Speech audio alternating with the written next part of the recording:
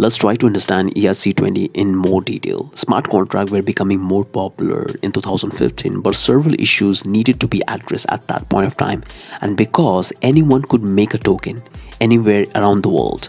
However, there wasn't a way to ensure that all of these different tokens could be created, used, or exchanged. Without a standardized methodology for the token, every application to have its own token and user could need to find a way to convert that token into another token so they can use into different platform. Right now we have popular tokens which follow erc20 standards like shiba inu binance dai usdt usdc these are the couple of popular tokens we have currently in regulation so users are buying and selling ERC20 was proposed by developer Fabian Stellar in 2015 as a way to standardize the token within a smart contract on the Ethereum blockchain.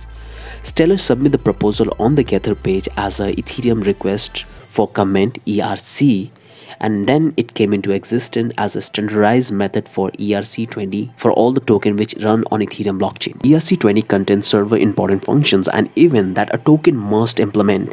Keep that in mind that the standard also govern action the contract take for the token being created, the minimum of the functions and information needed in the ERC20. So these are the couple of important function has to be there in this ERC20 like total supply, balance of, transfer, transfer from, approve, allowance, transfer, approval. So these are the important function has to be there which follow the ERC20 standard for creating token.